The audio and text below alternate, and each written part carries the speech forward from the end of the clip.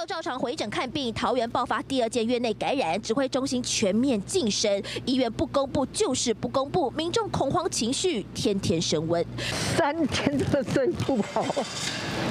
全副武装把雨衣当成防护衣，帽子、口罩还有手套，口罩一层不够，双层才安心。指挥中心一调不透明，民众只能自保求心安。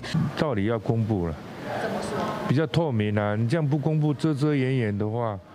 让大家一个疑虑啊！会这么担心，全因为这间桃园某医院按八八九在传染给按九零八，两个人在候诊区内坐前后排，全程相处未达十五分钟，而且都有戴上口罩，但还是传染了。感染途径究竟为何？是病毒太强，口罩已经挡不住，还是口罩虽然戴了，但其实没戴好，导致飞沫传染？最让人害怕的是，病毒停留在感染者触碰过的椅子或是门把，被第三人接触后。再往眼、口、鼻摸，造成环境传播感染。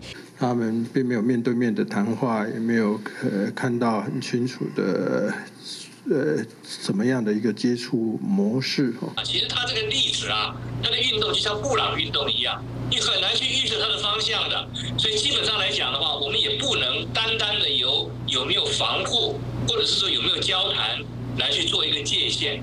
我们现在完全都分流的做得很好，希望我们能够在这个时候能够守住最后一个关卡。但九零八与八八九若基因序列不同，九零八是不是另起社区感染？结果出来前，全民恐怕还是忧心忡忡。记者黄玉俊、宋祥林 S N G 小组桃园报道。